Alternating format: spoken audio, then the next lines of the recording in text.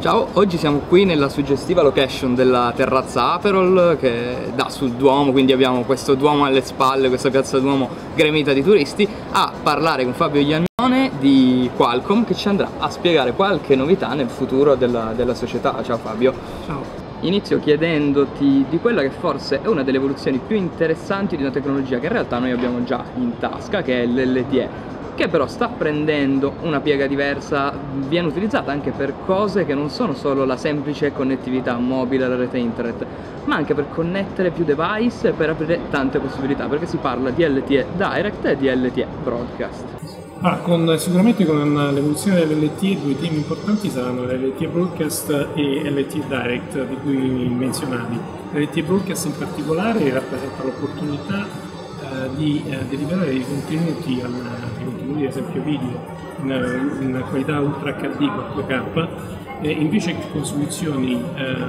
diciamo unicast come oggi eh, utilizzando risorse in modo inefficiente con una, con, una, con, una, con una, soluzione broadcast quanto meno questo consentirà da un lato di aumentare la qualità e di, e di ampliare la qualità dei contenuti stessi al 4K, all'Ultra HD come dicevamo prima, e dall'altra parte di creare dei nuovi use cases per la fruizione dei contenuti. Basta pensare ad esempio che già in altri paesi si sta studiando l'opportunità di coprire in modalità hotspot, ad esempio determinate location come può essere uno stadio, come può essere un mall,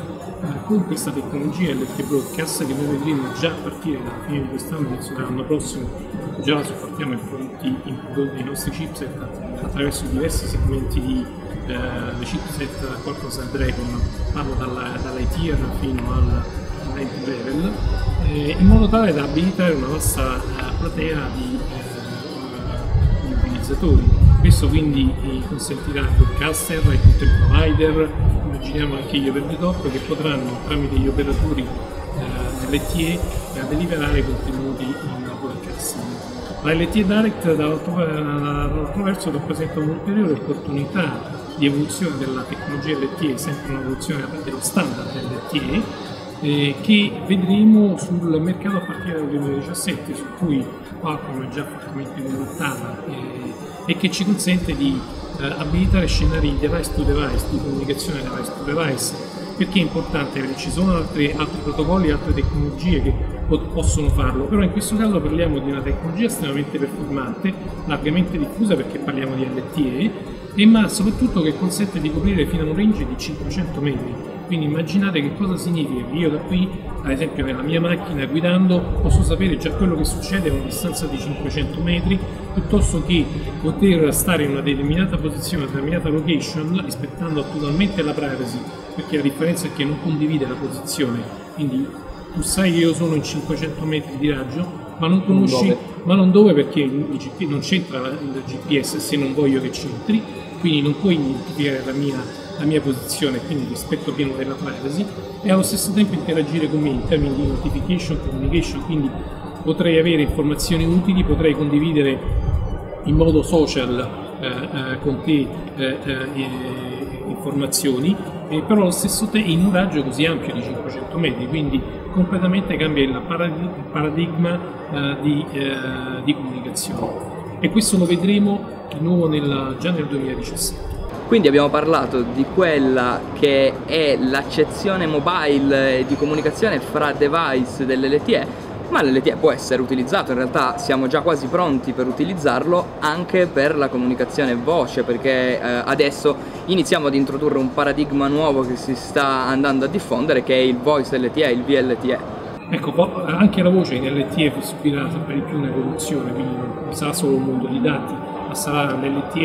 eh, vedrà anche qui migliorare il, eh, la componente essenziale della, dell'aspetto di comunicazione che è la voce, in particolare già a fine anno aspettiamo da molti operatori europei il lancio della voice over LTE, il cosiddetto VoLTE, e ha in alcuni casi anche abbinato al cosiddetto voice over wifi per ampliare le possibilità di comunicazione su diverse tecnologie in modo seamless, quindi sarà sempre più trasparente da un lato eh, per il cliente eh, capire che tipo di comunicazione sta svolgendo, una, una, una comunicazione tradizionale di tipo circuito piuttosto che una, una, piuttosto che una voce di tipo uh, uh,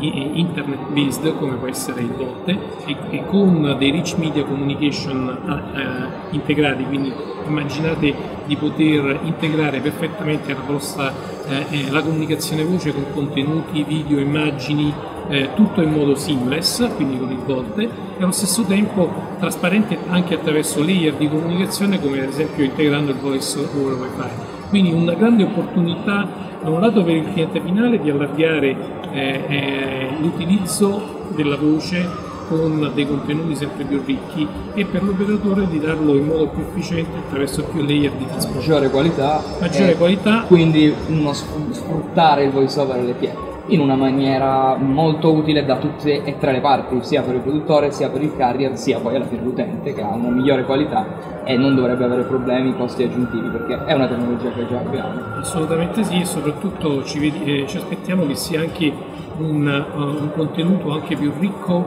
uh, di comunicare attraverso la voce con quindi non è soltanto una nuova Uh, tecnologia di rete ma è di device, è soprattutto la possibilità di arricchire l'esperienza di utilizzo della voce eh, per il cliente finale. Una parola che abbiamo sentito oltre a queste parecchio durante questa presentazione è interoperabilità, quindi la capacità dei vari device di, di collegarsi, di comunicare fra di loro e per fare questo, che comunque è una sfida alla base di quello che sarà il futuro di tutta questa industria, quindi l'Internet of the Things e appunto diversi sistemi che vanno a, ad agire insieme, si parla anche di un framework che possa unire tante tipologie diverse, un framework che è nato da una vostra idea e adesso si sta sviluppando in una maniera particolare. Ecco, con OJoin quello che stiamo cercando di fare è, è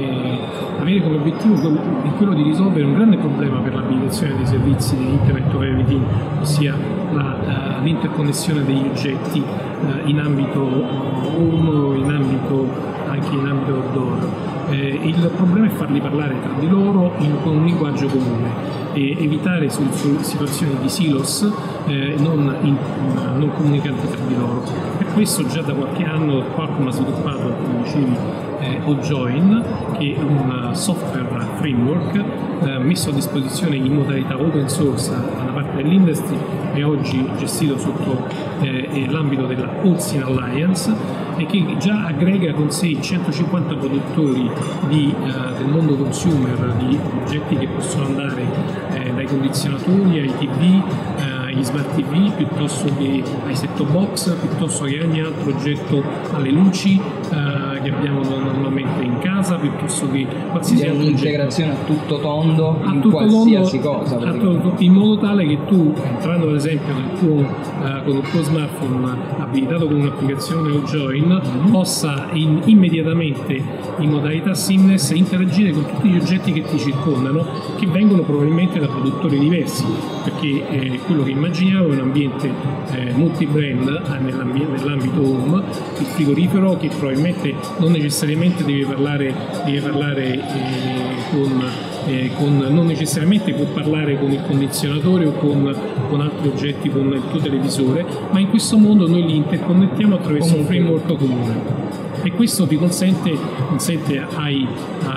ai service provider, ai produttori di uh, device e soprattutto agli sviluppatori di applicazione, perché noi al Sin Alliance mettiamo a disposizione un SDK che consente di sviluppare applicazioni come Join, quindi integrando questa soluzione e sviluppare degli use cases che a questo punto diventano estremamente interessanti per l'utilizzatore finale, abilitando finalmente quegli scenari di smart home di cui tanto si parla. Quindi come abbiamo visto, alla fine la sfida che vi siete lanciati con l'Internet of the Things è molto interessante perché comunque vede una comunicazione mh, su vari livelli e tra l'altro da parte anche di vari oggetti che abbiamo in casa e che non penseremmo che possano evolversi più di così ma che in realtà magari potranno darci una mano anche a fare piccole cose meglio di come le facciamo adesso. Quindi è tutto molto interessante. Io ti ringrazio Fabio. E quindi per redbull.com un saluto da Gianluca Cirignano e Fabio Iaioni